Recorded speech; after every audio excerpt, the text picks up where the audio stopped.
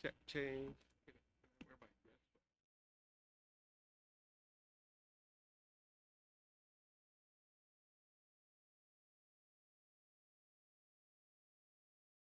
Okay. Welcome to the closed session portion of tonight's city council meeting of September twentieth, twenty twenty-one. I am calling this meeting to order. The time now is six P M. Madam Clerk, may we have a roll call, please? Councilmember Hernandez, Sorry about that. Present. Member Martinez, Present. Member Mer- or Perez, Present. Mayor Pro Tem Rollins, Here. and Mayor Gama. Here. Mr. City Attorney, could you please read the cl- closed session item into the record? Absolutely, Mayor Gama. We have one closed session item tonight. It's conference with labor negotiators pursuant to Government Code Section 54957.6. The agency designated representatives are Brad Connors, City Manager, Charles Parrots, Deputy City Manager, and myself, City Attorney. Uh, the employee association that is bargaining is SEIU, Service Employees International Union Local 721. Thank you. Do any council members have any conflicts to disclose for the listed closed session agenda item? Hearing none, we will now recess the closed session. The time now is 6:02 PM.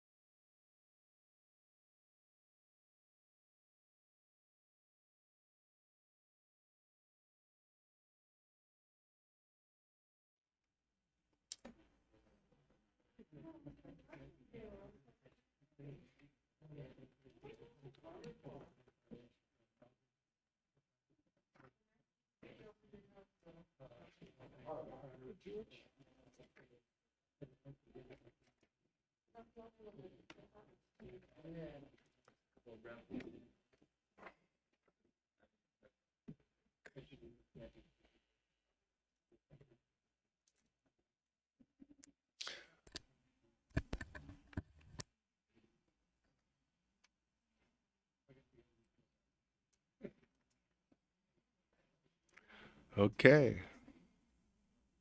Just waiting for them to finish.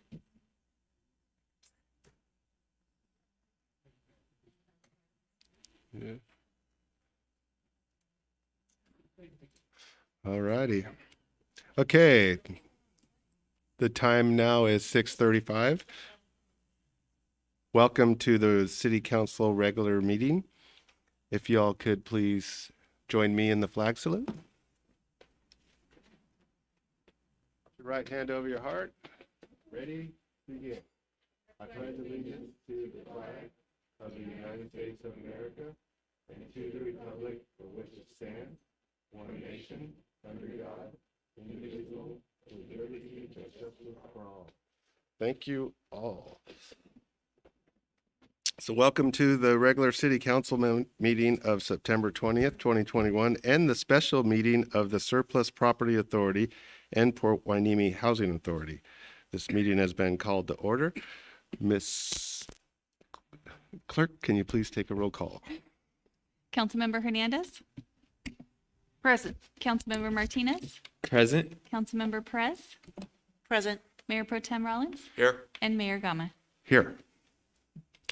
Mr. Deputy City Attorney, can you please provide a closed session report? Of course. Thank you, Mayor Gama. Uh, in accordance with Government Code Section 54957.1, any reportable actions will take place during items 13 and 14 tonight when final decision is reached on agreements. Okay, thank you. Um, tonight's inspiration is provided by yours truly. Um, and so uh, I'm going to get started on that right away. My inspiration is dedicated to all who struggle with life's challenges. September, as a month, is dedicated to suicide awareness, suicide prevention awareness, I should say, prostate cancer prevention, disaster preparedness, and on top of these, September is also, as you know, remembrance of 9 11. Inspiration or being inspired is the best medicine to confront the problems of life. In most cases, attitude plays a huge part of a person's ability to overcome challenges. Being down and out helps nobody. Being up and engaged with a positive attitude is the better way. In life, we all experience sadness, diagnoses, mini disasters, major disasters, and maybe even depression or overindulgent. But as we all know, life goes on. On January 17, 1963, the Port Hueneme City Council approved the Hueneme Bay development. This came on the heels of the construction of the community center on Park Avenue, which started in August of 1962. In order for Hueneme Bay to happen, it was necessary to annex the property into the city and change the name of Oxnard Road to Channel Islands Boulevard. Construction began on Hueneme Bay in February 1963. Amazingly, the first six sections were completed by October 1964. One of the innovations was becoming one of the first communities in the area without overhead electrical lines. Hueneme Bay was first designed to be for residents 39 years of age or older. I guess that was considered old back then. now I believe it's 55 and older. In August 1963, the $21 million residential recreation coastal community was awarded the top home buyers rating by a national magazine. It was reported that over 5,000 people came through to take a look at this new innovative concept to housing. When completed, it was marked as an elegant 120 acre development with all the recreational amenities necessary for coastal living. Recreation was a big part of the plan for Hueneme Bay. A tennis and swim club was planned and also a par three golf course. The HOA took on the name the Carefree Living Association. After construction of the first sections, financial difficulties arose and threatened the rest of the development. So 141 residents of the new Hueneme Bay came together and formed a corporation to raise the needed money to complete the development. Plans were scaled back and eventually the project was completed and it still stands today. What I find inspiring about Hueneme Bay is the fact that it has stood the test of time. I spent a lot of time in and around Hueneme Bay with my other job, and I find the residents to be extremely happy. When you walk the grounds, you see it's very well maintained at Hueneme Bay. More than anywhere else in our community, you see the power of smiles. You see the power of embracing life's challenges with enthusiasm. From the senior exercise classes to the water aerobics, and of course, the little golf course, you see residents enjoying life. When you realize this HOA has been in existence for 58 years and goes by the name Carefree Living Association, it's no wonder. So to close out my inspiration, I want to share with you all, I want to share with you all some inspiration quotes which I believe are alive and well at Hueneme Bay. Only in sorrow can bad weather master us. When we are joyful, we face the storm and defy it. You yourself, as much as anyone else in the entire universe, deserve your love and affection. Each day begins with a huge act of courage for all of us. It's called getting out of bed. Not until we are lost do we begin to understand ourselves. Your mission on earth is not finished if you are alive. Out of suffering have merged the strongest souls, the most massive characters are with the scars to prove it. Hope is stronger than fear. A pessimist, a pessimist sees the difficulties in everything, while an optimist sees the opportunities in every difficulty. Life is short, forgive quickly, kiss very slowly, love truly, and smile frequently.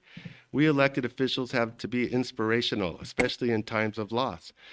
We all have been reminded recently how delicate and short life is. So tonight is the night to be inspired by those who have left us. Let's work for better while enjoying the time all of us get to spend together. Let's hope that we do things that pass the test of time like Hueneme Bay. And that concludes my inspiration. Thank you. We are now moving on to general public comments. I believe I have two. And we'll go with George Shoup. George? Um, Oh, that's for housing? Was it general public comments pertaining just to housing?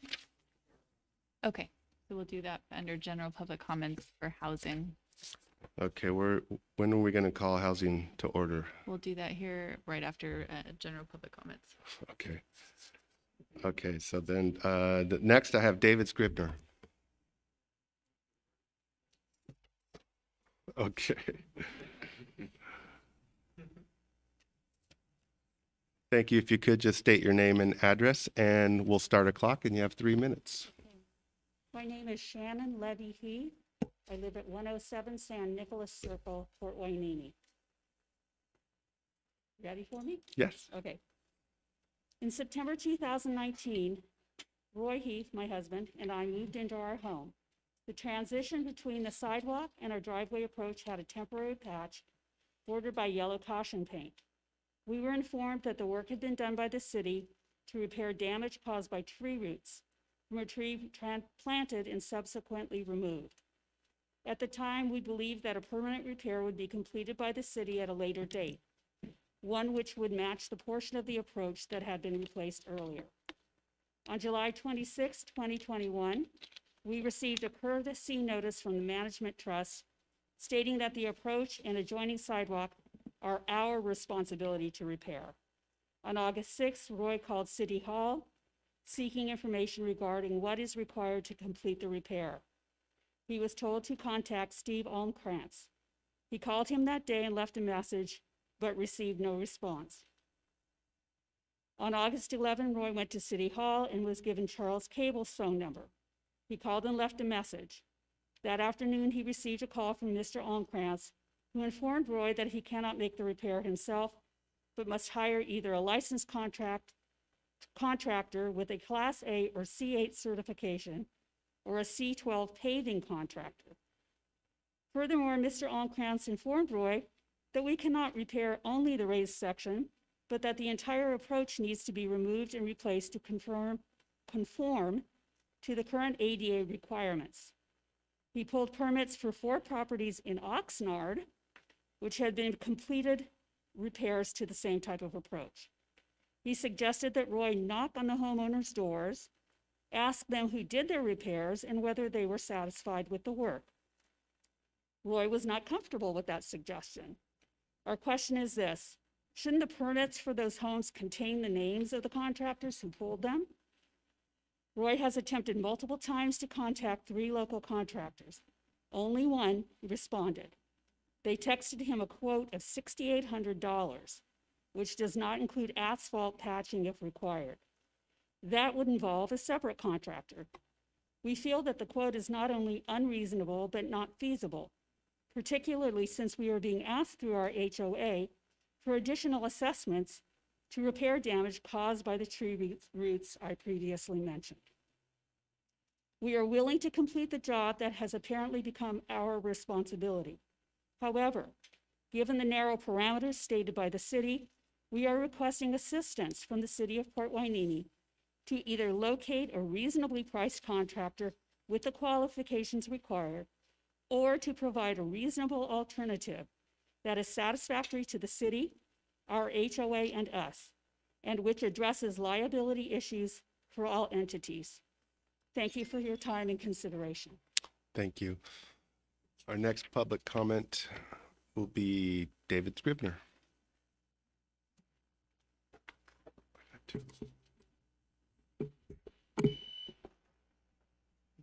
How do I start it? Oh, there we go. Hi. Uh, Good evening, everybody. Um, I'm here today as a representative of the um, Surfside Village Homeowners Association. I'm the president of it. And we asked the Heaths who live in our neighborhood to repair the sidewalk. Uh, There's a long history of this that I want to go through and hopefully can get through it in a minute or two. Um, We were planned unit development. The landscape uh, situation was set up between the city and the uh, original landscape designer, and it was completely flawed. They planted enormous amount of uh, trees with uh, invasive roots. This has cost us, uh, it's breaking our budget, to be blunt. Um, One of the trees destroyed the sidewalk, the curb, uh, the part where the, uh, I guess, approach in front of uh, their home before they bought it. Um, The former owner um, contacted the city and asked this to be fixed multiple times. Uh, nobody came out for a year. Okay, finally they showed up, threw some asphalt on it, and called it quits and walked away. It's still a tripping hazard and it's unsightly. Um, later, they proposed an ordinance, which you guys signed off on, putting the responsibility for all this back onto the homeowner. I have to state that half of the Heath driveway was fixed by the city in the past, as was half of the other uh, neighborhood, right- the other house right next to them. So we have a situation where this, this problem was identified, the city did nothing about it until you passed an ordinance saying it's their responsibility. And now they're stuck with seven, eight thousand dollars in costs, which um, seem outrageous. Now, the other problem is that um, there's not been a lot of cooperation, obviously, with uh, the Public Works or whoever runs that department. Um, They were asked to get contractors with very specialized um, credentials. These are companies who do massive projects like, like neighborhoods and city streets, and they're not interested in doing a, a- a driveway for somebody. So the bid they were able to get was an offhanded one where the guy wouldn't even write down or even, even look at it. Just said, I'll charge you seven, sixty-eight hundred bucks, sight unseen to fix it. So there's two or three things I would like to recommend in thirty seconds. Um, So the first one is, uh, there's a simple solution to this, If the city will come out and grind down the sidewalk. It's about two inches lifted. There's several other spots in Surfside Village that have been ground down like this. Um, That would solve the problem, or give Mr. Heath the ability to hire somebody to fix it for him. Um, The city won't, at this point, won't touch it because it's deemed to be his property. Um, The second is, the city really needs to come up with a list of contractors um, or some, some guidance to move forward. As you can see, he's a pretty competent guy, and trying to go out and find a contractor with a specialized license in this environment is next to impossible. So, thank you. Thank you. Okay, I have, uh, George, I'm going to hold your comment for the housing meeting. May I have a, the next item on our agenda is to approve the agenda. May I have a motion and a second to approve the agenda? Motion? Second. All in favor, say aye. Aye. Appears to be unanimous. Now we're going to recess to special joint session of the Housing Authority and Surplus Property Authority meeting.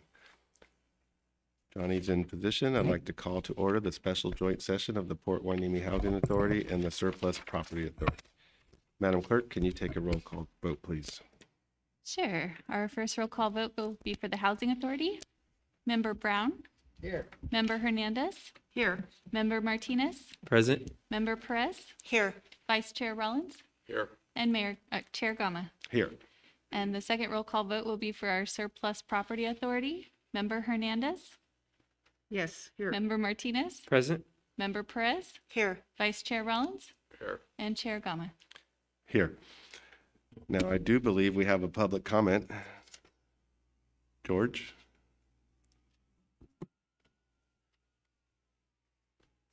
If you could please just state your name and address for the record. Thank you. George Shop, one five seven East Scott Street, apartment four eleven. And, um, Mr. Chairman, uh, Chairman Pro Tem, uh, members of staff, thank you for allowing me a moment to speak. Um, first of all, we, uh, just got our bus stop cleared. Uh, we've been, uh, trying to get the bus stop cleaned up from an overgrowth of ivy and a tree, and, uh, it finally happened today. Uh, so I don't know whether it was, uh, uh, possibly Jessica or, uh, uh, Mr. Connors or, uh, uh, Mr. Gama who helped us do it, but thank you uh, for finally getting that done.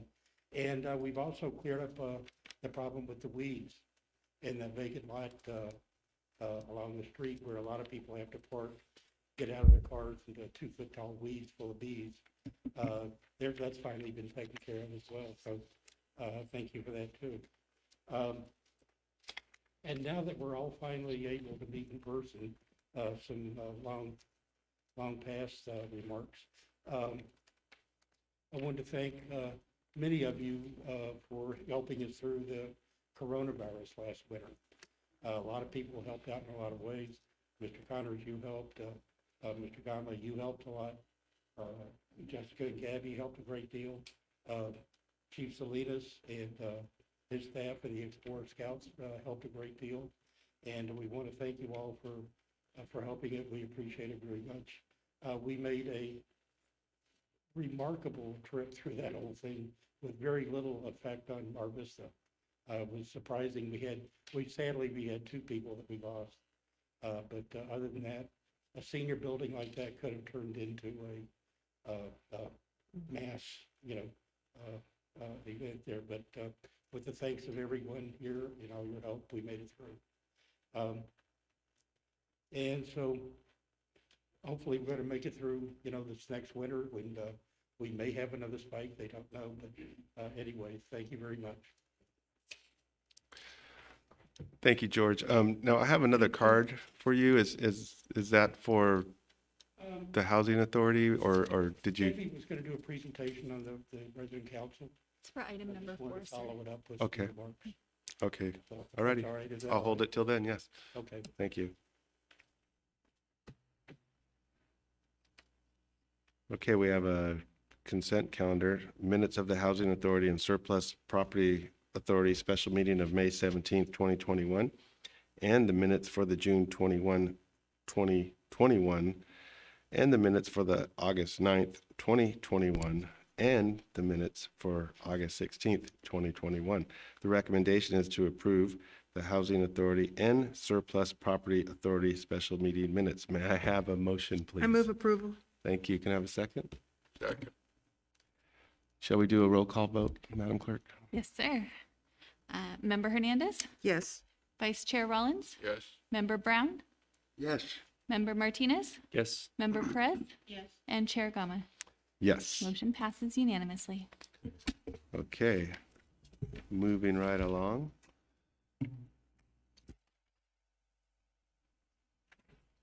We're gonna adjourn.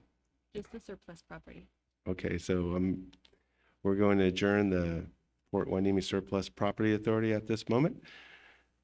And now we're going to have a presentation for the Housing Authority by the Director, Gabby Basua.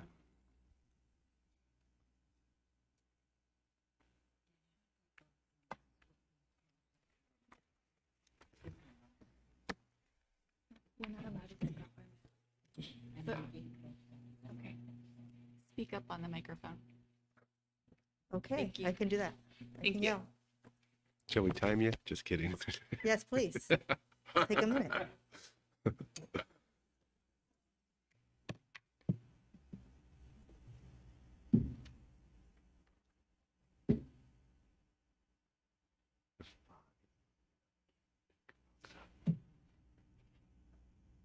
I can't read without. Okay, I Oh, but hope, when I I'm gonna speak as loud as I can through this mask. Um, Good evening, Chair, members of the board, city staff. Um, I'm here today to give you an update on the windows and doors um, at Mar Vista Senior Apartments. Um, It's going to be a very short presentation. I just wanted to give you some information um, so that you may have this information. We've had some challenges at Mar Vista trying to get contractors to um, walk the building as far as replacing the windows and doors there that you had approved earlier last year.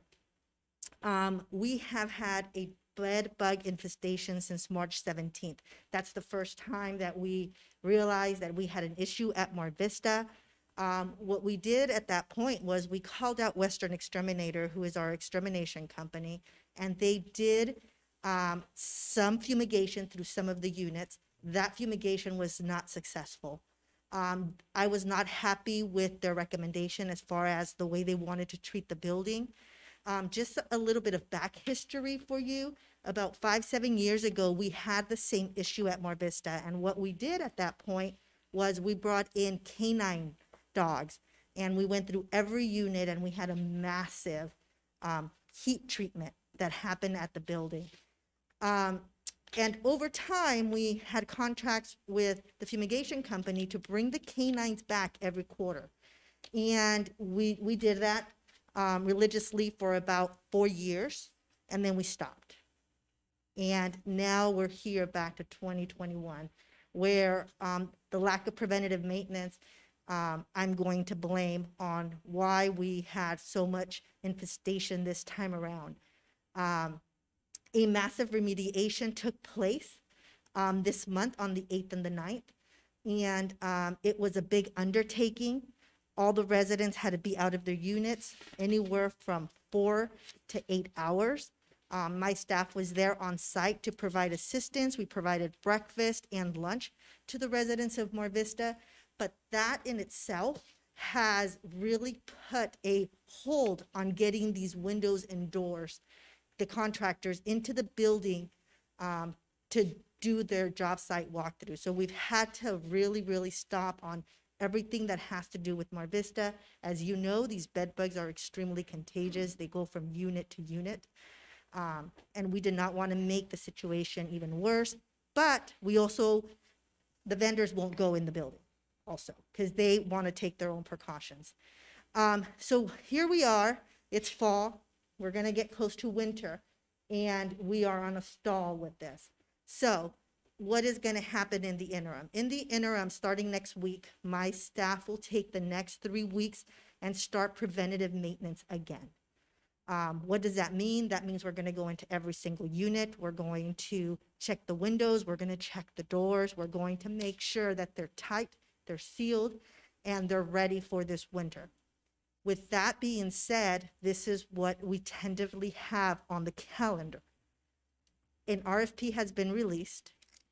We have a scheduled October 6th job site walkthrough through the building. On October thirteenth is the deadline for, um, RFPs to come back to the city, and I hope to award, or hope you will award the contract on October eighteenth. But as you know, that's already late fall. We're gonna be going into the winter in December. I'm, don't know what that schedule is going to look like. Weather permitting, I'm going to push that we continue this project and we move it forward. Um, that is all the information I have for you right now. And I'm available to answer any questions that you may have. Thank you. Are there any questions?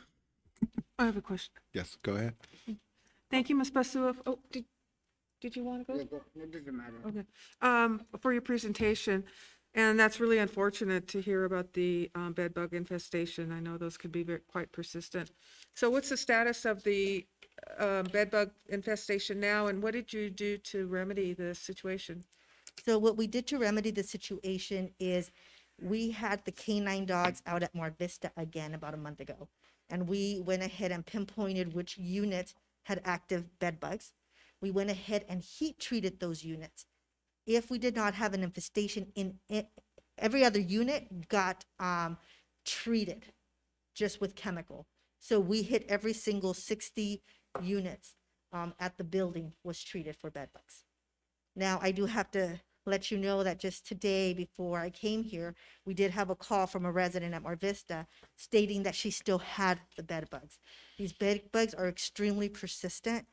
Um, when the tenants are preparing for the heat treatment, a lot of them like to take their stuff with them. We don't recommend that because the bed bugs travel with them. So if they went ahead and brought their stuff back after the heat treatment, then we've, again, we've got an issue. The good part is, is that now we're back to a preventative maintenance contract with the um, extermination company, so we'll be able to hopefully get this under control. Using the canines? Yes. Good. Thank you. Johnny, Okay, my question is, uh, uh, good evening there, uh, Mayor and council members and, uh, city staff. Uh, my question is, uh, you know, uh, I first brought up about the windows and I, my question, my, what I tried to get done then was weather stripping and caulking and sealing the windows.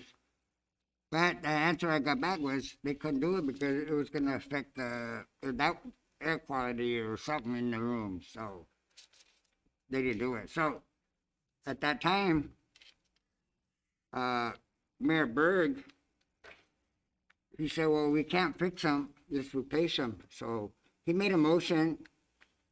It was seconded, voted on, and passed to put the windows in. And I've been asking every year, uh, two or three times a year, what's going on with the windows? What's happening with the windows? Okay, they did come in one time and try to put weather stripping in. It didn't help them, not in my case, uh, and others either. You know, so I see that you're gonna do preventive maintenance to the windows. And is that supposed to stop all the cold air coming in? And because the glass is thin and it gets very, very cold in there. And it's, it's bad, especially for the elder, elder, uh, uh, residents that live there. And so, is this supposed to stop the cold air from coming in? The, you're gonna go in there and, and, uh, strip, or what are you gonna do? Yeah, so they're gonna go back in there, check the windows. A lot of times the windows are off track. If we need to weather strip, we will weather strip. Um, I cannot guarantee you that it's going to be hundred percent. Um, and you are correct, when, um, Mayor Berg at the time said, let's replace these windows, that was the intent. But if you also recall, the money wasn't there through HUD yet. So we had to wait an additional year for the cycle to happen in order for us to get the capital grant fund that we need in order to get this done. Um, if you recall, we had said it was gonna cost us, you know, we, we had an amount and I can't recall the amount, but it was insufficient when we went out and did, um, what we call an ice, um, as far as trying to see how much this was going to cost. So it did push us back in order for us to get that capital grant money in. Well, you know, it, it's going on five years now. I have the minutes of the meetings where I brought it up, where they, where they passed it and they said they were gonna put them in. you know, and it's already five years, and it was supposed to be done within the first, uh, five-year, uh, uh, plan. And, uh, while every year something comes up where they don't have the money, something happens, that'll do this or that, so every year something happens where we don't get them, and they just keep getting pushed off and pushed off, and now it's already five years, but I know that you changed it from continue twenty twenty-one to twenty-one, twenty-two, which to me, Matt, man, you're gonna give you time to next June. We, we are hoping to be able to execute at least the contract this year, Member Brown, and to start on the process as soon as possible. I'm not worried about so much about myself. I believe that I'm, I'm, I'm trying to do it for everyone. No, I- and I, Because and I everybody definitely needs 'em. understand that. Not- I'm not talking about just me. I'm talking about everybody needs them. It gets cold. The air, the wind comes right through. You know, on, on a, on a wind, cold windy day, you can see the blades moving, the air, the wind's coming right through, dust comes in. I mean, you know, I, I just was hoping that we'd get them put in by now, you know, and, uh, I'm glad that you're speaking about them and you're gonna start at least trying to weather strip them, but I, I would, I, I was hoping to hear you say, we're gonna start putting the windows in now. But, uh, I guess that's not gonna happen yet. Ho- And, uh, Hopefully you will hear those words pretty soon. I'm sorry, You will hear those, those words pretty soon. I didn't understand you. So I hope to tell you that we're gonna be installing the windows and doors pretty soon. Oh, okay, okay. Okay, well, thank you for listening to me, and, uh, I just wanted to bring that up because I, I, I do have the minutes of the meetings where it was passed and they were supposed to put them in. It's, and it's up five years. I have the copies. Right, I understand. Thank you. Thank you. Are there any other questions for Director Basua? I did. Um, so it seems like the, uh, the dogs are a pretty effective way to detect bed bugs and eliminate them. What, now, and they used to do it all the time. Why did they cut it out four years ago? Was it not budgeted for, or, or, When- when or why took- wasn't it budgeted So for? So when we took really big budget cuts, that's one of the things that went at that time. It was the preventative maintenance for the dogs and it's literally been about two years. Yeah. So it, it's back on the radar now and it's back in the budget.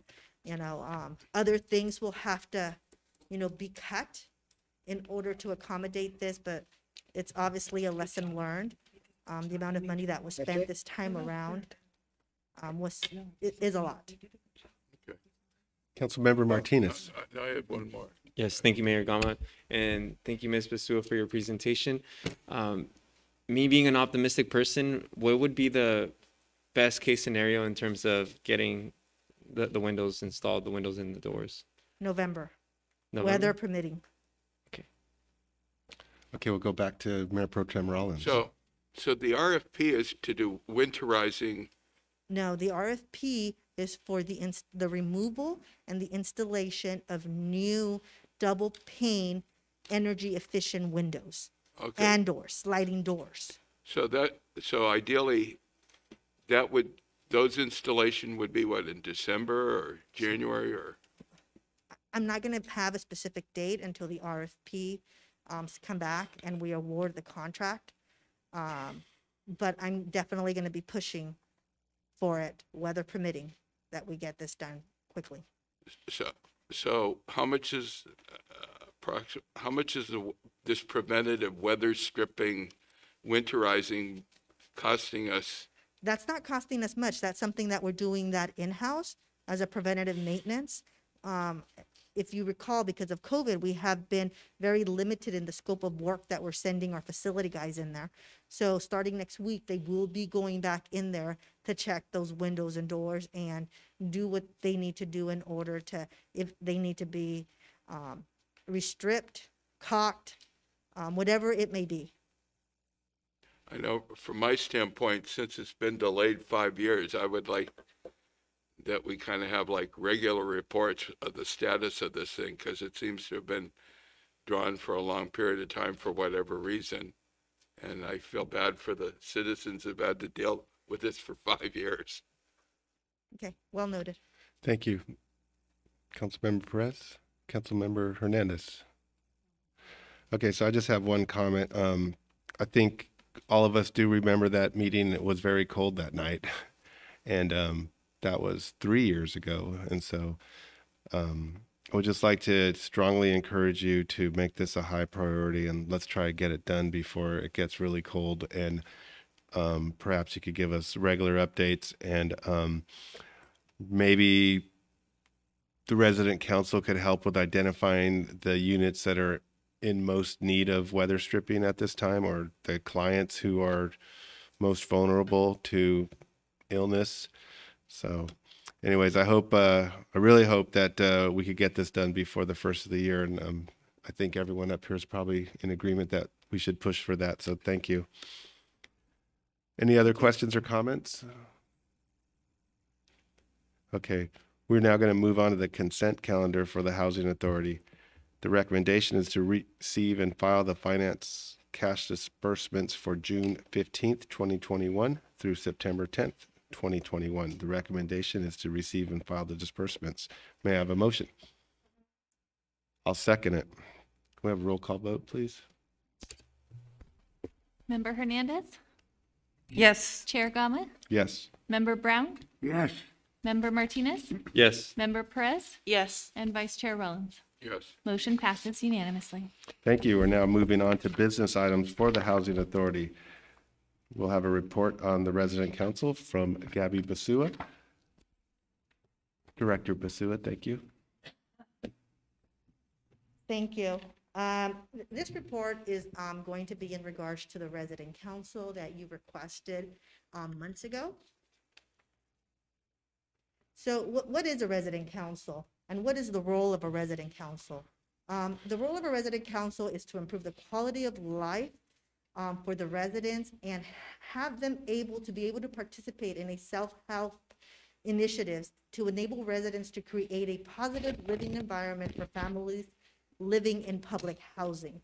Um, Examples of these duties um, are organizing educational classes, assisting the PHA with its initiatives, notifying the PHA with issues at Mar Vista, sort of like the windows, what um, Mayor Gama just said, um, and tenant activities in order to create a great community environment. Who's eligible to be part of the resident council? Well, the resident council, anybody over the age of 18 that's on the lease can be part of the resident council. HUD does provide the agency with money for tenant participation activities. Um, and the PHAs make these funds available to the resident council. The, re- the PHA and its resident council must work together and decide how the funds will be used for tenant participation and activities. So currently, the resident council has eight hundred and eighty dollars a year to spend on its activities. The election procedures and standards are something that we have to hire a third party to oversee. And also, if there was to be a recall on any members of the resident council, that is also something that the housing authority would have to um, have an independent third party do. So um, a little bit about how the Mar Vista Resident Council came about. Um, In January 2019, the PHA contracted, hired Nan McKay and Associates, who is one of the leading um, agencies for housing authorities as far as training and compliance. They went ahead and gave a two-day class at Mar Vista for the residents. So it was a full-on class environment. Um, and we had great participation. I, I'm going to say maybe about 20 to 25 residents participated in these classes. An election was held on July 1st, 2019, where five residents um, were elected to the resident council. And I did name those residents there and the roles that they had. On August 14th, the five elected members, and this is 2019, so I'm talking about 2019, the five elected um, members submitted council bylaws. So the purpose of this was to go ahead and have the election, then have the people that were successful and were elected to serve on this board to come together and start working on their own bylaws. Um, on August 14, 2019, we did receive the first draft from this body, and we denied the bylaws. They were not, um, they were not concurrent with HUD regulations at the time. On September 10th, um, we received a second draft by the, by um, the people that were elected. And again, we denied that draft again. It was at that point where um, myself and Jessica Serta started working with the resident council um, an hour at a time so we can work on their bylaws um, and have them approved. This was a long process. It was months in the working, it was back and forth. It was the resident council letting us know why they wanted certain bylaws, and it was the housing authority telling them why maybe certain bylaws couldn't be part of the bylaws because some of them maybe violated a HUD regulation. So it was a long process. Um, on July 13th, 2020, an MOU, a memorandum of understanding, was executed between um, the Housing Authority and the Resident Council, making their formation um, in the eyes of HUD final. Um, so the resident, so let me go back to this slide.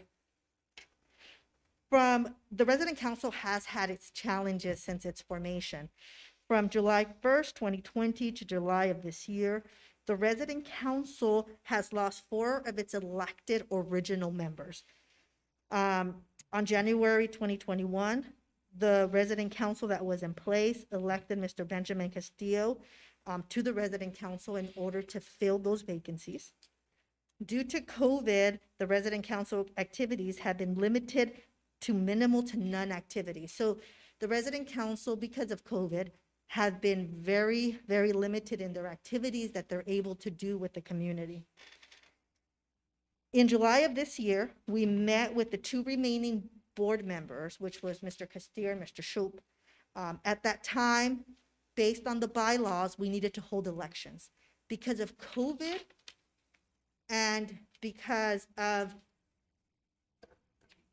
because of the fact that they were not able to actually do much activities, um, we decided to allow Mr. Shoup and Mr. Castillo to appoint additional members to the resident council in order to have them be a full body.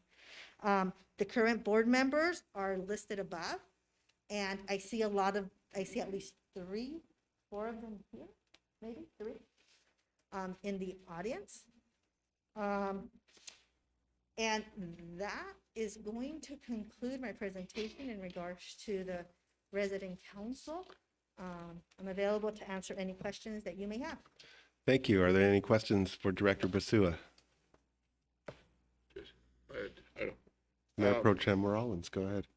with, with the process, like, since HUD has all these regulations as to what the bylaws should be, and most of the people who are on this board are probably novices of even developing bylaws, why weren't they just kind of presented with, this is kind of how you can operate? Yes, so the Nan McKay training kind of gave them an overview of what the bylaws should be. But they're allowed, just like any other governing agency, to add additional things to their bylaws. So for example, they're able to add, instead of, I want the elected officials that win to be on a four-year term instead of a two-year term. They, they've got to set up those rules for their organization. They can set up the rules as far as how often they're going to meet. Um, so, um, they're allowed to do all those things. Um, so that's why. So uh, with the current rules, how often are they meeting? Or, or the new group, how will, are they going to be meeting monthly, quarterly, annually? So the group does, they are an independent group, um, not ran anything with the housing authority. The only thing the housing authority does is we try to be an advocate, um, for them. And we provide them with the money that they need as long as we approve the expenses. Other than that, I believe George is here. George, you meet once a month?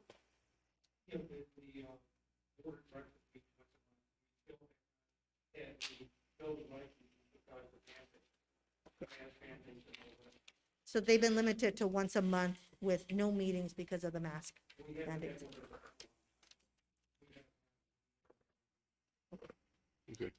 And so now there are approved bylaws that they can move on from there. Yes, the bylaws have been approved um, since July 2020. Are there any other questions or comments? Having seen none, I, I would just make a comment. Congratulations. I think um, getting more people involved in the management of your residents is great, and I believe it gives um, Director Basua a whole new set of eyes out there looking for things that, that could be corrected before they become a, a problem. And, and um, at this time, uh, I believe George, you have a public comment that you would like to make. Okay.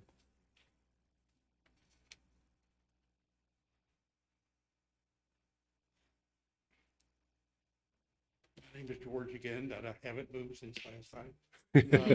Is your name still George? Um, Once again, I want to thank you, Mr. Chairman, uh, Chairman Pro Tem, um, Mr. Connors, uh, s- uh, members and staff. It was a long tedious process to organize the resident council and uh, get it recognized from the Housing Authority, but we did finally do it. Uh, I want to thank you especially, Mr. Connors, for uh, helping us finally get the bylaws put together and finalized. Uh, We did not do that bad a job on the first draft, but we uh, worked out and made some changes. Uh, It's been less growing uh, since then due to the restrictions of the coronavirus. Uh, However, we've worked hard to do the best service of our, to our community that we could and to get through the shutdown and the isolation that we all went through. Uh, Service to our own Mar Vista community is our prime objective of the resident council. Uh, We're looking forward to expanding, working with uh, more activities and service to the residents uh, in the near future as soon as we get rid of some masks. And uh, we want to thank Gabby and Jessica for their cooperation and uh, willingness to work with us. And uh, we're looking forward to uh, an interesting and much more productive future. So, so anyway, thank you uh, to all of you and uh, to Gabby and Jessica. Thank you very much.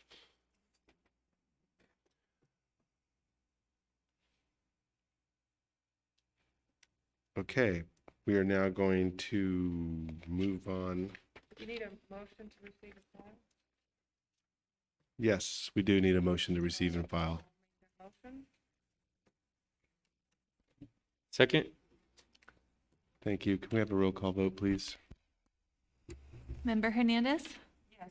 Member Martinez? Yes. Member Brown? Yes. Member Perez? Yes. Vice Chair Rollins? Yes, And Chair Gama? Yes, Motion thank passes. you. Okay, we're now at the point in time where authority members reports, comments, and requests for future agenda items. At this time, members of the Housing Authority may make comments and/or provide reports. Mr. Brown, would you like to go first? I have nothing to say at this time. Thank you. No comments. Member Perez? Member Martinez?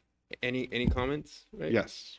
Um, Yeah, related. I, I was notified by some of the residents that there's, um, I guess, someone, there's like water being, you know, it's leaking off one of the balconies onto someone else's balcony. Just wanted to make sure if they can check up on it. Okay. Thank you. Staff will take a note of that and work with, with the resident council on that. Mer- uh, Member Rollins? yeah.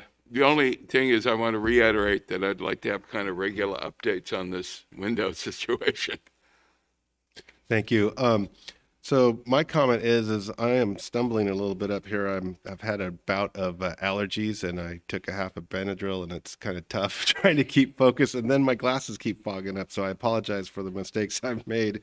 Um, I do want to congratulate, uh, the resident council and I want to encourage you to, to stay highly involved and I want you to, to help make Director Basua's life much more tolerable and, and manageable um, because having an engaged resident council with, with your set of eyes out there is very helpful to maintaining a, a safe and livable environment. So, um, congratulations on getting through all these obstacles. Congratulations on getting through COVID.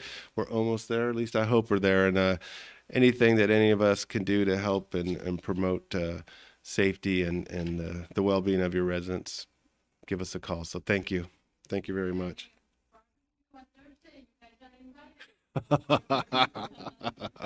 Thank you, Nusi. Thank you very much. Okay, are there any other comments or questions? We are now going to adjourn the Port Hueneme Housing Authority. Port Hueneme Housing Authority will adjourn to the next regular meeting of October 4th, 2021 at 6:30 PM. Thank you. Thank you. As Director or Member Brown exits the dais, we will reconvene the City Council regular meeting. Tonight, uh, we have three presentations. The presentation number five has been canceled due to uncontrollable circumstances of, of us. And so we're going to move on to Mayor Six. Councilmember Perez is going to provide the Suicide Prevention Month proclamation.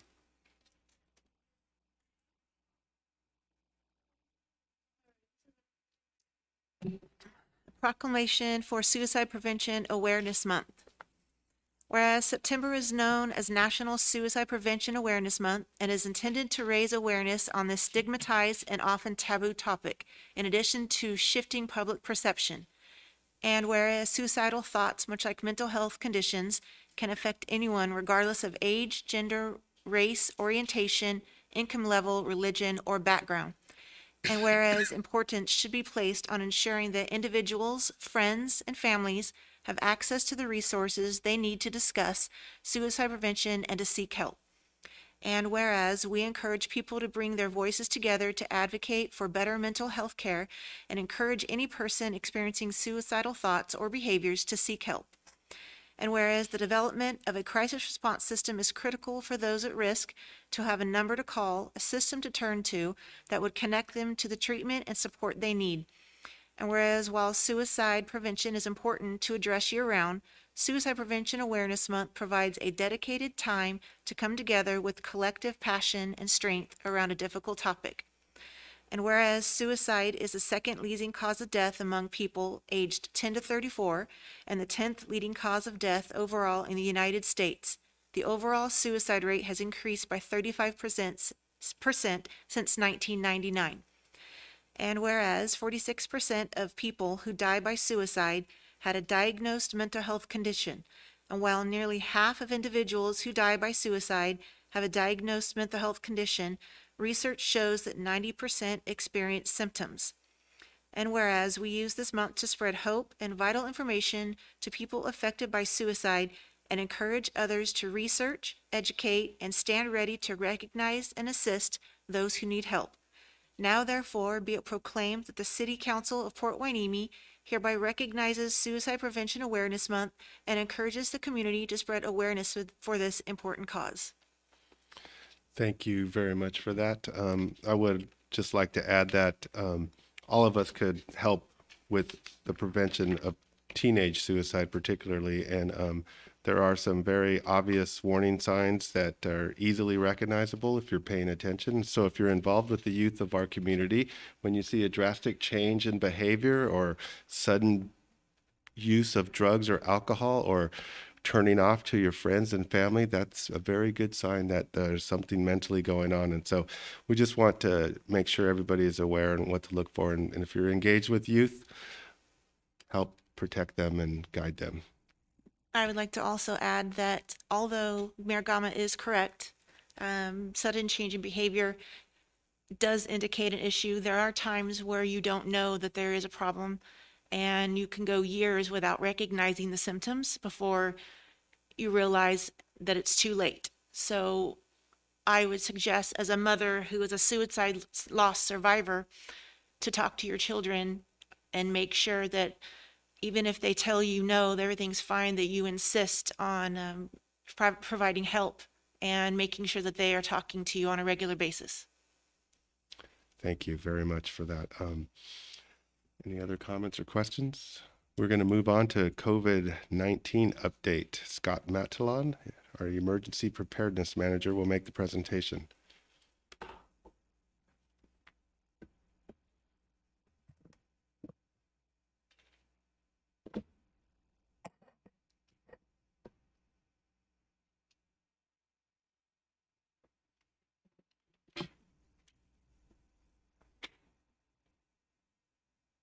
Well, good evening. Mayor, Mayor Pro Tem, City Council, and staff. I think if we look around the room, I don't know anybody in here who would uh, have suspected that COVID-19 would be now going on to 18, 19, 20 months and beyond. Uh, As we look back, uh, Chief Salinas has been providing us uh, very regular updates on COVID-19. And as we move into our long-term plan, uh, as your emergency preparedness manager, it is now my job to uh, continue briefing you periodically uh, throughout the remainder of the emergency as to the status of COVID-19 in our city of Port Hueneme. Now, uh, I want to talk about uh, one quick thing here. Um, As we move into the presentation, there's going to be some hot topics we're going to talk about tonight. And I respectfully ask, uh, please hold your comments or questions to the very end. Um, There's a couple of slides that I'll may get to that will answer those questions as we kind of go in order. Uh, And then at the end, uh, please feel free to uh, ask me any questions about COVID that uh, have come up through the presentation. And here are those topics. Uh, We're going to talk about a number comparison as we always do for infection rates. We're going to talk about vaccine updates, mask mandates, proof of vaccinations, vaccine mandates, vaccine boosters, upcoming clinics that we're going to have here in the city, and uh, finally, a new topic for the COVID presentation is uh, employment and/or unemployment here in Ventura County. So without further ado, let's move to the first slide. So here we have a comparison from where we were in last meeting in June to September. And as you can see, uh, there's been a, what I would consider a significant increase in testing. We went from 1.5 to 1.8 million tests completed. Uh, and we've noticed on this second line, our positive case uh, back in June was hovering in the 81,000 range. We're now up to 93,000. So what we've seen is about 12,000 uh, increase in the number of cases we have currently uh, in, in September. Uh, one of the disclosures I'll make to you is, of course, the county updates their numbers uh, regularly on Monday uh, afternoon and or evening. So there's a couple of numbers that have changed just slightly as expected on a Monday morning, or excuse me, on a Monday evening. Uh, so I'll mention a couple of those as uh, we move on. Um, our deaths, we had a 1,022 back in June, and unfortunately, we've added 93 uh, to that total as we move into the later parts of September. Uh, our ICU, I want to just point out quickly that um, the county measurement tool has slightly, uh, I'll say, improved on that, where they now break down uh, patients into how many total, uh, how many on ICU, which is 31, staffed beds at 169, and ventilators at 137. So let's talk locally here in Port Hueneme. We had 2448 back in June. We have 2776 currently today, and that's an increase of 328. Uh, unfortunately, we have add, added one more death here in Hueneme, and our active case rate as of today, uh, we have 45 in the city. Uh, that's an increase of 40. As you can see on here, uh, we can tell our positivity rate at 4.5. Uh, there's a few numbers on here that at first glance looks like, okay. Uh, we have a 19.8 case rate, a seven day average per 100,000. But by showing this, I wanted to put into perspective a little bit on where we were in comparison back in March. And if you remember correctly, uh, we used to have the, the tiers. We had, you know, purple and red and orange and yellow. And if you look at our seven day average, and I have that purple arrow pointing to it, we went from 9.1 per 100,000 to 19.8 currently. Um, so that is double plus some. Uh, some of the good news that came out from our numbers that got released uh, prior to this meeting just a couple hours ago, um, that 19.8 has dropped on a, a good side to about 16. So what we are seeing is an average downward trend as of the last week, last 14 days. So that's good news. Uh, I'll direct you to two other categories, the seven-day PCR testing positivity rate. Uh, back in March, it was 3.5, and today it's uh, 4.5. Uh, one other bit of good news that has dropped uh, down into the 3.5% range uh, this evening. And last, and this is what you would expect to see, a 6.8 positivity uh, rating over seven-day PCR back in March, and currently we're at 5.8 which is lower, and we expect that because as more people become vaccinated and experience some of those same symptoms as COVID and get tested, we would expect that result to, to go lower. So that's quite on track.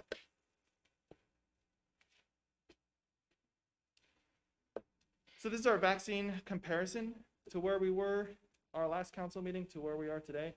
And uh, a significant increase. We love seeing that. Uh, We're at 54.7 and now currently uh, at about 71. That has also increased slightly uh, for the numbers that came out um, earlier today. So Ventura County is doing uh, significantly better than some of the other counties around us, and we're thankful for that. But we still want to encourage people, if they haven't had the opportunity to get vaccinated and are just waiting for that right time, now is no better time out there. So please continue to uh, get vaccinated. So now we're going to get into that mask mandate. So as you can see on the screen here in front of you, uh, Dr. Levin has extended the order. Uh, this is as of uh, September 17th. And we can all expect to be wearing our masks indoors pretty regularly, at least through uh, October 19th. Um, and then at that time, there will be another assessment, and I will bring that to you if the mask mandate continues.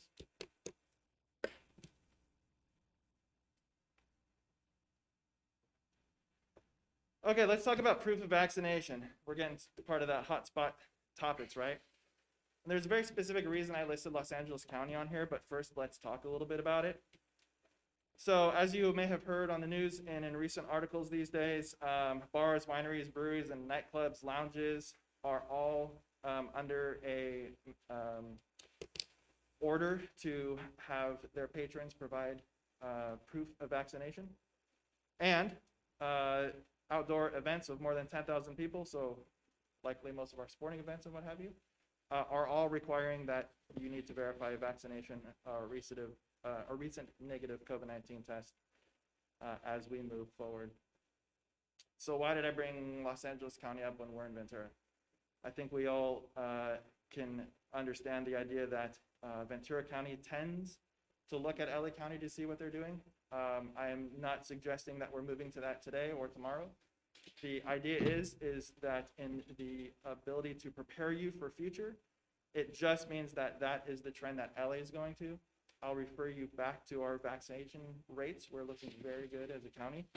So uh, I'm not suggesting that we are going to it there today or tomorrow, but just to be aware that um, our counties just to the south of us are moving in that direction.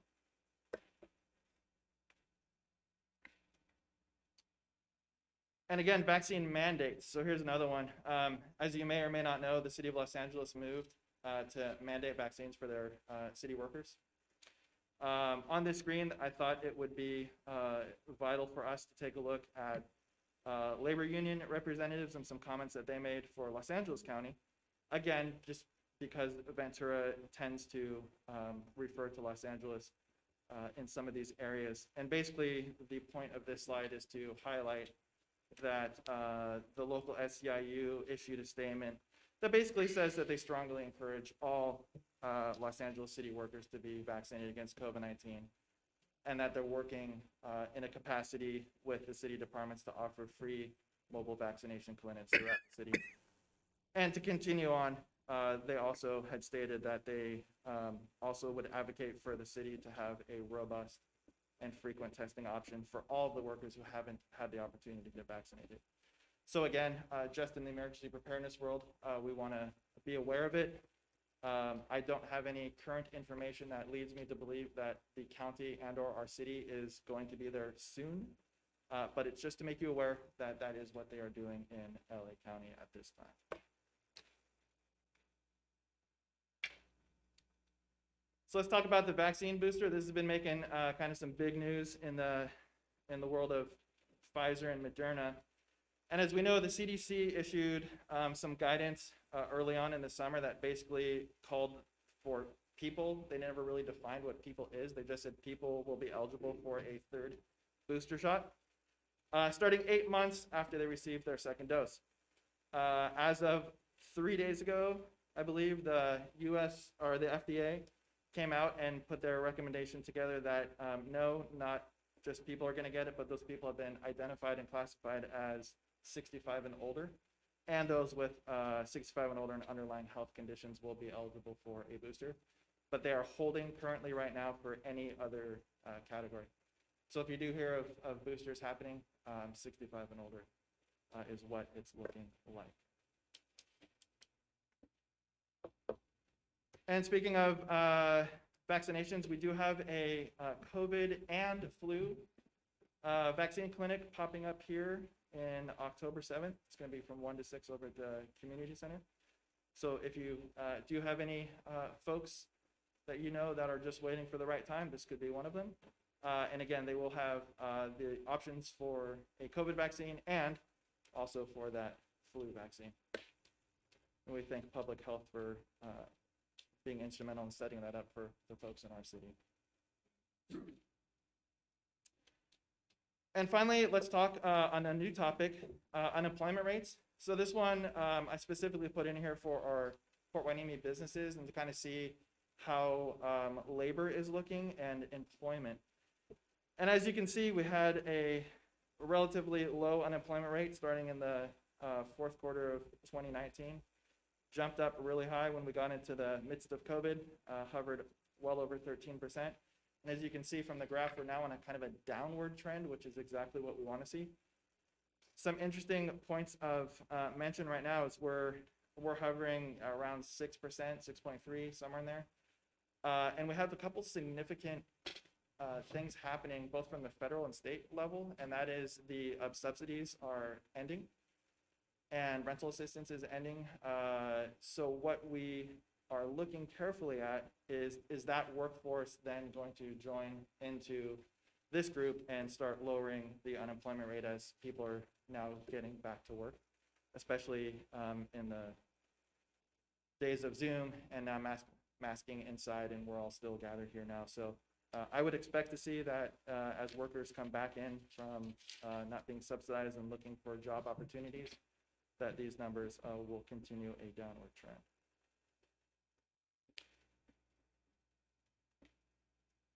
And with that comes questions.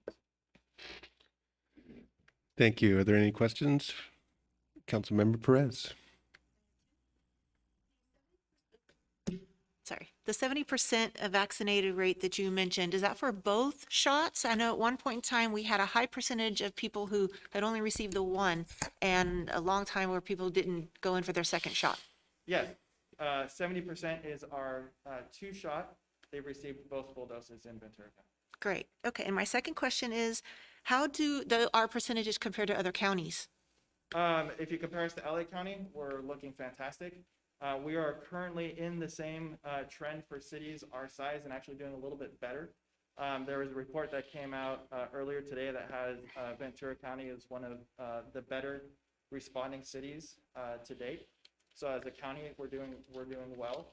Um, one thing to point out there is uh, if you remember back to when uh, Chief Salinas would talk about our proportion of Port Hueneme residents to the county and how are we doing, we wanted to hover around that 3% mark. We're about 3.4 uh, as of today. Um, again, with the numbers coming out uh, just before council uh, met, that number is trending downwards again. So what we are seeing is some, some progress being made. And what's uh, ultimately going to help that is, is folks getting vaccinated. So it's looking good for us here. Great. Thank you. Any other questions? Yeah, I do. Congress. Um, I noticed in the stats that you reported in the beginning of your presentation that there was no reference to the breakthrough cases. Are, is the county not tracking breakthrough cases? Sure. Actually, we do have uh, breakthrough cases. Um, I can comment on them uh, as we are. Um, there have been uh, in the 14-day uh, time period, uh, there were 303 um, cases in our county that were breakthrough cases.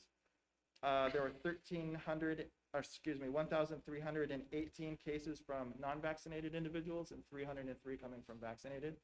If you do the math on that, that trends about 18% in the last 14 days are coming from vaccinated versus unvaccinated. I can also report to you um, on the county's website.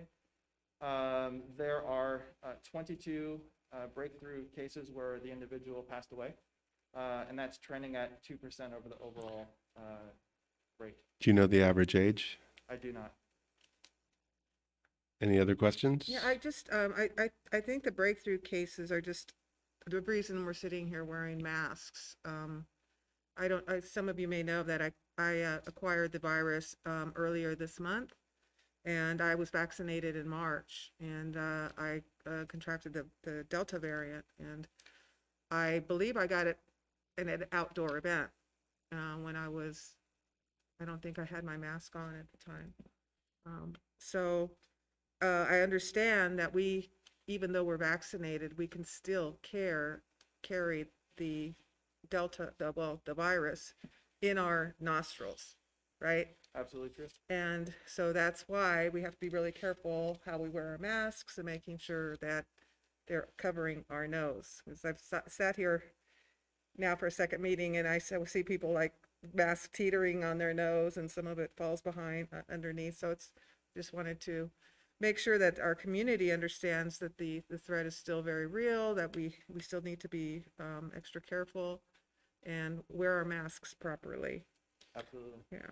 You know, the interest, the other interesting thing I noticed is when I, um, when I tested positive for COVID, um, I, I did so with a store-bought test.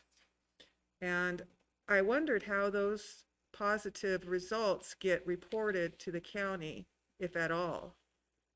And How many people are out there in testing themselves from a store-bought test, but how, the results never reaching the county stats? Yes, and, and I don't have an answer for how individuals who take those are. Uh, what individuals typically do is if you test positive for COVID with the ones that you get from the store, that tends to be a follow-up from the PCR.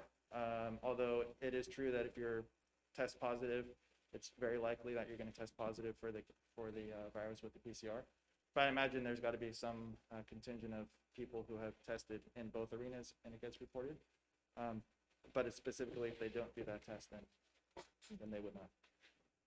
Um, I had an, a couple of more uh, things I wanted to say is, what are we doing to inform our businesses and our community of the extended mask mandate?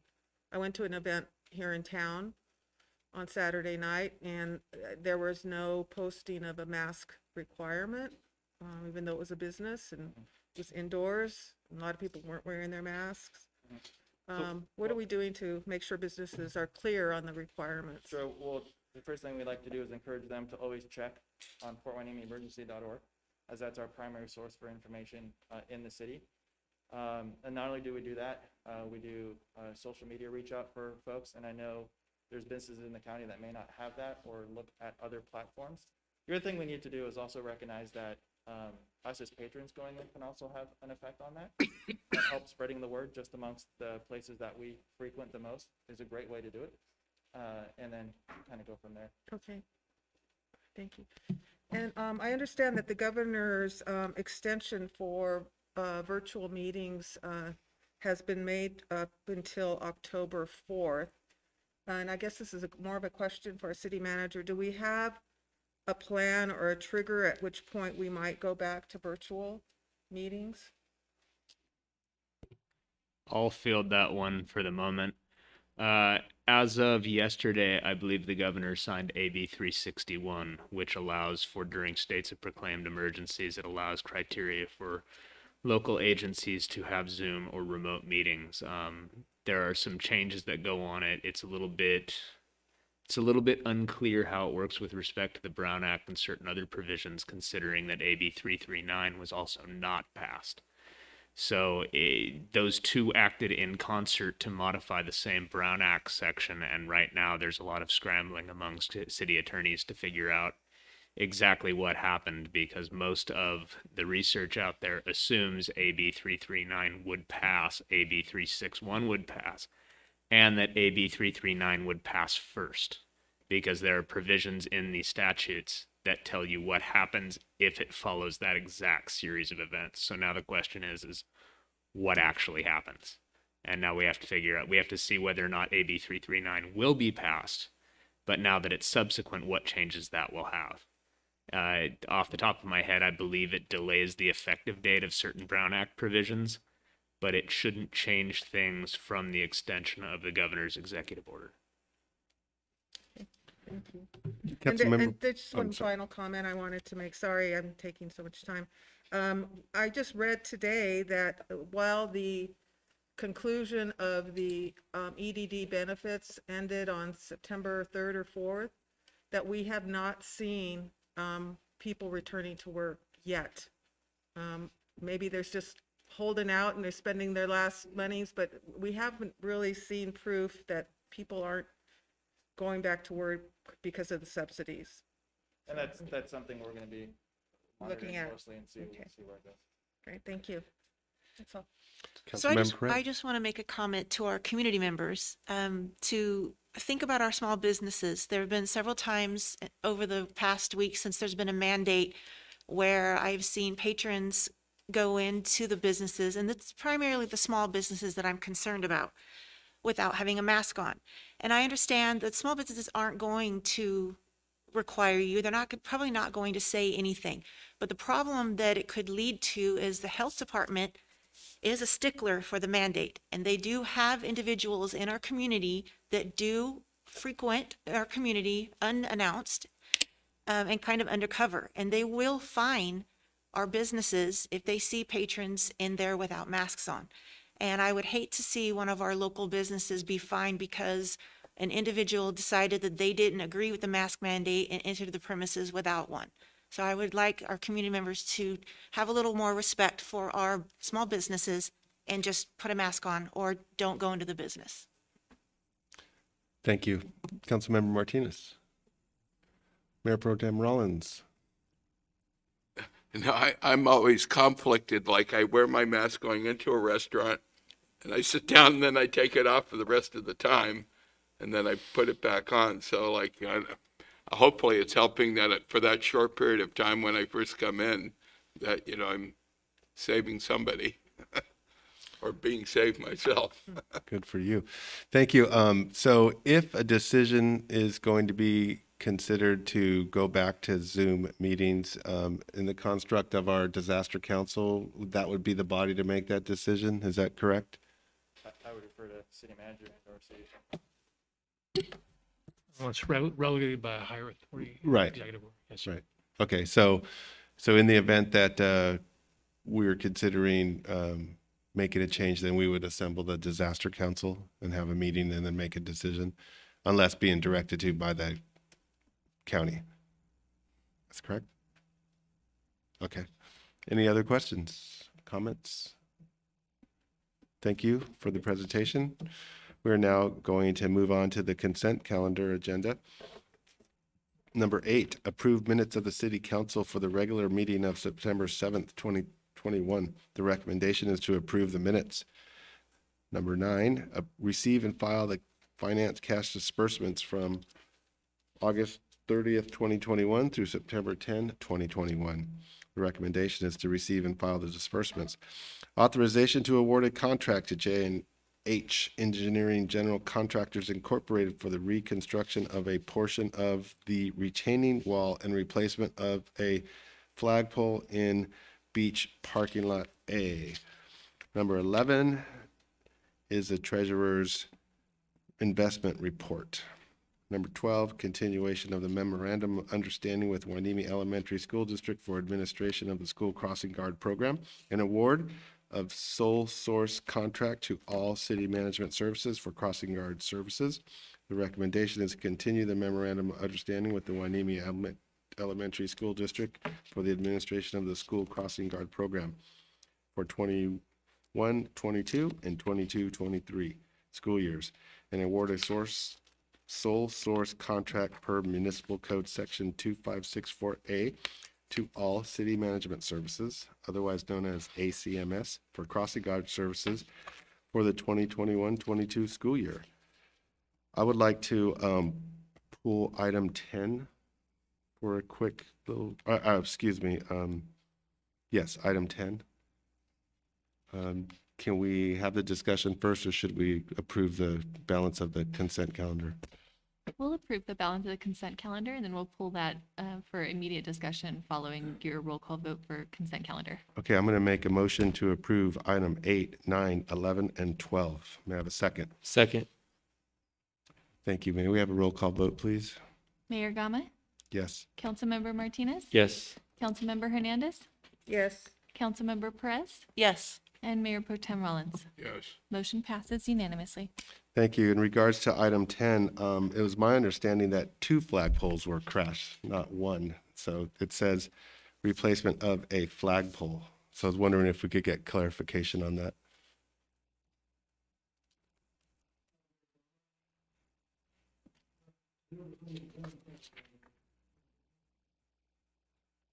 So there's only three flagpoles at the corner? I thought there was four.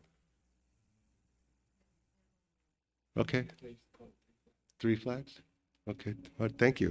Learn something new every day. So I'd like to make a motion to approve item 10. Second. May we have a roll call vote, please? Mayor Gama, Yes. Councilmember Hernandez, Yes. Councilmember Martinez, Yes. Councilmember Perez, Yes. and Mayor Pro Tem Rollins. Yes. Okay, we're now moving on to business items. Number 13, ratification of a side letter to memorandum of agreement between the city of Port Hueneme and Service Employee International Union Local 721 regarding certi- certification incentive pay. Mr. Peretz will be making a report. Are you ready, sir? Yes, thank you, Mayor. Good evening. For the record, Charles Perez, Deputy City Manager. Uh, So item 13 uh, pertains to certification incentive pay. In sum, this is extra pay for the attainment of job-related certifications that are not otherwise required by an employee's job specification. Uh, Most specifically, uh, this pertains to job classifications in the Department of Public Works, uh, where the department has indicated that the attainment of additional job-related certifications would assist and aid in the completion of job tasks assigned to that department. The side letter that has been developed uh, in conjunction with the SEIU group allows for annual stipends between $500 and $1,500 and provides for a maximum cap to any one employee of $3,000 in a particular year. The side letter identifies which positions would be eligible for these stipends, identifies 14 different certifications, as well as the agencies that are authorized to issue the certifications. That's my brief summary, and I'm available for any questions. Anybody have any comments or questions? None? Okay, I'm going to make a motion to approve the ratification of the side letter memorandum of agreement between the city of Port Hueneme and the Service Employees International Union Local 721. Second.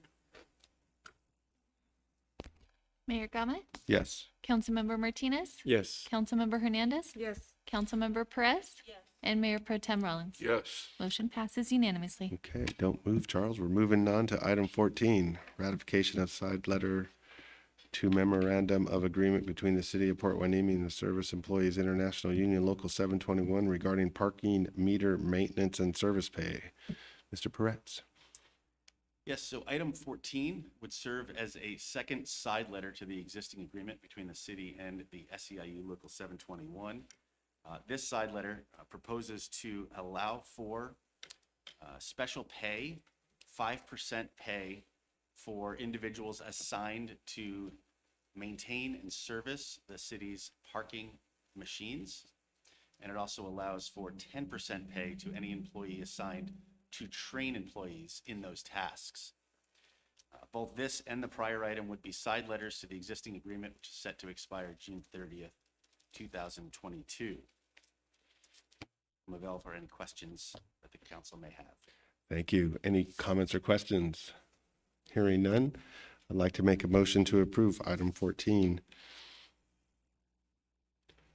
Second. Thank you. May we have a roll call vote, please? Mayor Gama, Yes. Councilmember Martinez, Yes. Councilmember Hernandez, Yes. Councilmember Perez, Yes. and Mayor Pro Tem Rollins. Yes. Motion passes. All right, we are moving along. Now we're going to move on to city manager comments and reports. At this time, we'll hear comments and reports from our city manager, Rick Connors. Thank you, Mayor. Honorable City Council, I have a couple items I just wanted to share with everybody really quick. Not too long ago, our Public Works Department commissioned a traffic engineer to evaluate one of our most significant uh, traffic uh, intersections. mainly between pedestrians heading to the beach and trucks coming out of our port of Hueneme. As a result of that uh, effort, um, we improved in many different areas in terms of um, uh, awareness visually for uh, uh, pedestrians as well as trucks. We've got extended uh, bulbs around the intersections where uh, cross traffic for pedestrians are. We've got stop bars at the intersections. And probably the most significant thing is the queuing and parking for trucks um, that are leaving or entering the port. Um, We'll see, that was not that long ago, but we expect some significant safety improvements as that, a result of that effort. I want to make everybody aware that uh, uh, this Saturday, sometime during the day, you'll see a bunch of people on bicycles. We have the annual California Coastal Arthritis Bike Classic. Uh, This happens every year. Obviously, it didn't have, happen during COVID, uh, but uh, you'll see a bunch of bikes coming through the city. Um, I'll skip that one. Um, And then there's two items on the next uh, agenda on the 4th of October that I want uh, folks to be aware of. The first one is the Community Benefit Fund. Uh, Recently, this past week, the joint city and uh, port um, uh, committee met to review a variety of different projects that are eligible for $173,000 in uh, current funding. Uh, Through that uh, meeting, um, several projects were identified, um, and council will have the opportunity to vote on those projects here at the next council meeting. They spanned from sponsorships uh, to um, monuments and public art um, to some other smaller projects. And the last item I wanted to share that's going to be on the agenda, uh, two years in a work, uh, making, uh, almost 20 years since it's last been updated, I believe. Uh, The first opportunity in public hearing uh, to look at our general plan and our housing element. So that will be published 10 days prior to the 4th, where people can have a look at it. And with that, I conclude my report. Thank you. Uh, Mr. City Attorney, I have a question. Are we able to ask a question of any of the comments he made? Yeah, we can ask a question, but we can't get into full-scale discussion. My advice would be to treat it like a like a public comment in that we can ask clarifying questions and whatnot, but not devolve into a conversation with council direction. Okay. I just wanted to make a comment that I appreciate the work that's been done near um, Market and uh, Road. And um, I think it was a really great um, action to move the crosswalk up so you could actually see down the street.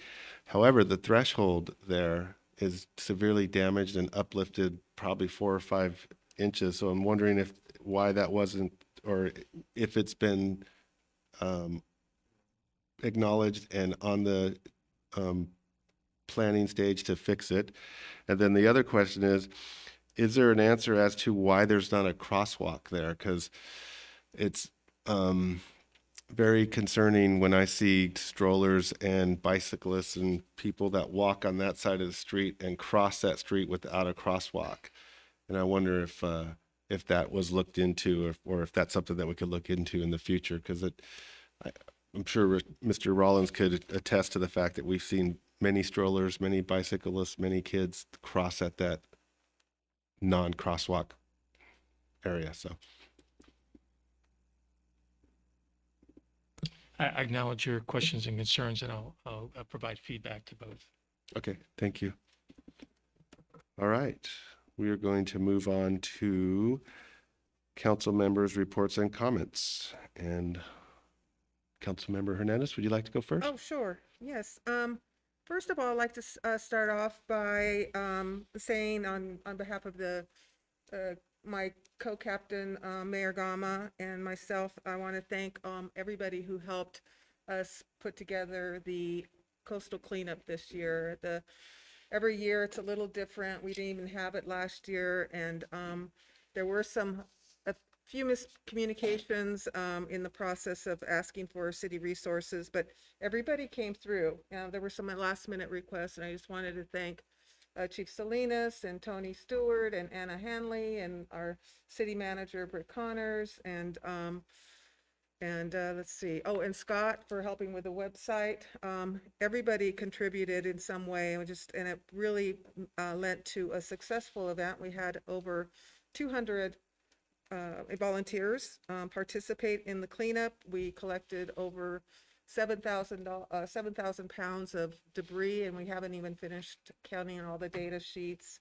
And we had the, a var- variety of different groups there, from school districts to local business from Camarillo, the Navy base, um, and then Hueneme uh, High School Junior ROTC was also present. And uh, we covered over three and a half miles of beach and um, made even a bigger dent in the trash that's out there.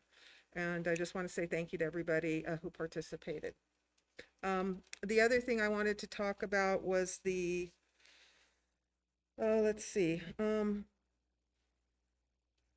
my committee, my committee reports, uh, don't really have too much. Um, I understand SCAG committee assignments are expiring, so there'll be an opportunity for uh, new assignments to SCAG committees coming up. Um, I, I think we'll probably hear about that more in a few weeks. Um, let's see. VRSD, the Ventura Regional Sanitation District, we had a meeting um, last week, went very well. We're doing some right sizing um, because we're having to increase our fees and tighten our budget. So we're right sizing our our expenditures and also streamlining services. And I think eventually we will see that we'll be out of the business of dealing with wastewater. We'll be just dealing with with solid waste management. Um, only uh, when the when the time comes. Um, let's see, anything else? Oh, I was really pleased to see uh, to see today at the Mandalay um, Village Shopping Center, Officer uh, Montalongo getting out of his car. I first saw a homeless individual with a sign at the corner there by the gym where they like to stand and ask for for money. I saw him first, and then I saw Officer Montalongo getting out of his car with um, some resources, a sheet of uh, resources, and he went up to the individual and handed it to him and spoke to him, and I pulled over and got a picture of him doing that, and uh, and then I went to my business, went and took care of my business, and came back to that same corner, and Officer Montalongo was gone, but the homeless individual had the piece of paper, he had his phone, and he was actually dialing and getting on his phone trying to make a connection. So that was so encouraging to see. So I just want to communicate to, to Chief Salinas, thank you for that assignment, making that happen. And congratulations to Officer Montalongo. It was really nice to see him doing good work out there. And let's see, is there anything else I have? Oh, that pretty much does it. Thank you. Thank you, Councilmember Perez. Councilmember Martinez. I just want to say that I'm excited that we're going to be going to the conference this week, and I'm excited to see all of you guys over there. You know, hopefully we can bring back some valuable knowledge for all of us. Thank you for that. Mayor Pro Tem Rollins. Yeah, I just wanted to comment on one of the committees that I'm involved in, and that's the Ventura County uh, Transportation Commission. Um, I would just implore the public to look at the city website. Uh, there's a survey out right now um, dealing with people who drive their car, take the bus, or whatever way they transport themselves within the uh, city, well, within Ventura County. And they're looking into the future uh, to figure out ways that they can uh, make traffic better, um, be able to allow the citizens of Ventura County to be able to equi- equitably get from uh, one location to the other. And um, so the citizens look at the um, city website. It's a uh, uh, questionnaire, but and people sometimes don't like to take questionnaires, but think of it in the future. That's kind of how we're going to be better able to transport ourselves, be it through work, through pleasure, or whatever. So. Thank you for that. Um, yes, we completed the California coastal cleanup this weekend, and this is unlike any other Saturday that we do our beach cleanup. In in this event, um, we had a targeted um, effort. We had um, we're in cooperation with Surfrider Foundation, Coastal Keepers, um, and another group that David Scrivener headed up down at Arnold Road. We also had um, Driscoll Farms show up on their own and they had an unofficial site. So if you take all those different groups that work together, I think the number is probably in excess of 400, close to 400. And that doesn't include the port of Hueneme, which. That's right. The Port of Hueneme as well was at the other side of the beach. So um, we we had plenty of coverage to cover Hueneme Beach, but we also had a targeted area down the beach. And um, for the first time in five years, um, this is just such a huge milestone. We were able to walk off the beach knowing that on the beach side of the lagoon, it is very clean. And some of the complaints were there's no trash. And that's exactly what we're, you know, we're gunning for. And so I think we've been able to demonstrate that um, doing a little bit every week is great. And then when we have this major event, we, we go to that focus area and we have a targeted, we- hit it from all sides. And um, we had dumpsters that our city provided, and we had volunteers from all over the county coming to the city of our city to help um, keep our watershed and our beach clean. Also, want to just uh, mention um, um, this company, MWS Wires Incorporated. They donated 50 buckets um, to us, and we sent 25 over to. We split the 50 buckets into two groups, 25 each. We sent 25 to Coastal Keepers, 25 to to our effort. Our, our buckets do deteriorate after a couple years and we have to throw them away. So these were widely um, appreciated. And then Mayor Pro Tem Rollins came over and helped me decorate them with the Reach Hueneme Beach sticker. Um, I uh, had a re- I had the best beacon meeting I think I ever had in my career as a city council member this past uh, Friday, um, and um, we have uh, Beacon drafting a letter off to Julia Brownley's office, and we're um, very factually and, and politely and and um, requesting that we get full funding to move 2.4 million cubic yards of sand from the sand trap to Hueneme Beach. And that's significant because over the several years, 30 years, we've never really consistently hit that target to mimic Mother Nature. So um, we got all hands on board. We have a, a very nice letter that's factually based. And we also had support from the Port of Hueneme. And what was most appreciated from the Port of Hueneme, they asked that we need to also look at making up that deficit that has occurred over the last several decades. And that deficit is causing problems down coast at the um, at Point Mugu, in which we all are aware of. So um, I feel like we have uh, made progress, and we're going to keep pushing hard, and we're going to try and sustain Hueneme Beach into the future. And um, so this book was given to me, and if you haven't had a chance to read through this book, this is an absolutely fascinating book at the history of Port Hueneme as a city. There are so many little tidbits and things in here that you may not know. So I strongly encourage you to. Uh, I'll pass this book around, and if you're interested, and there's. It's just amazing all the trials and tribulations of our city of Port Hueneme. Um, and uh, there's little things that uh, you, you just I, you're unaware of. One of them was that, you know, um, when uh, the the Bard family donated Silver Strand Beach and Hollywood Beach to the county, it was done so so that the um, harbor, Channel Islands Harbor, small boat harbor, could be constructed so it could be, also be used to trap the sand so that we could bypass the sand around the port of Hueneme, and they they ran out of money and the city of Port Hueneme um, offered to float a bond if the county would allow us to uh, annex that that area and become a part of our city and give us the master lease to the harbor. And the county put it on said no and put it on the on the uh, put it out to vote and floated their own bond. So there was a lot of wheeling and dealing back there. And uh, there, there's so much interesting stuff. So i just encourage everyone to to read this book. Um, and then lastly, um, I just want to um, recognize uh, it's been a tough week um, for all of us. Um, we lost um, prior mayor Ellis Green and prior mayor Doug Breeze, and then a person that I serve with on VCOG um, Ellie Larson also passed away. She's a city council member from the city of uh, Fillmore. So, you know, we all are grieving their loss, and we uh, we send our condolences to their families. And and um, with that, I'd like to move on to the next item. Any other comments from council members? Okay, we are on the last item of our agenda, which is future agenda items. I'd like to remind council members that all requested items will require a motion, a second, and a majority vote per adopted council policies to be placed on a future agenda. Does anybody have any requests for future agenda items? Councilmember Perez.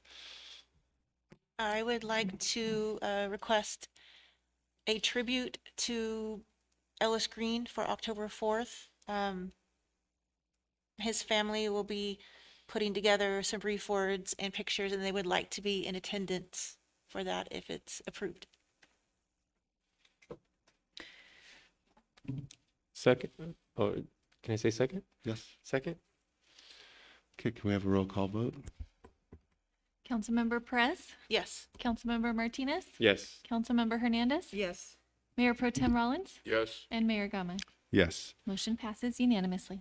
And I would like to also note that um, for the community, that Sa- Saturday, October 2nd at 11 a.m. at the Oxnard Performing Arts will be his going home service. Thank you. Councilmember Martinez, do you have any requests for future agenda items? Anyone else? Last chance? Okay. I'd like to take this time to adjourn this meeting. We'll adjourn this meeting in the name of Alice Green and Doug Breeze. The time now is 8:15, actually it's 8:17 PM. The next meeting will be the regular meeting of Monday, October 4th, 2021 at 6:30 PM. This meeting is adjourned.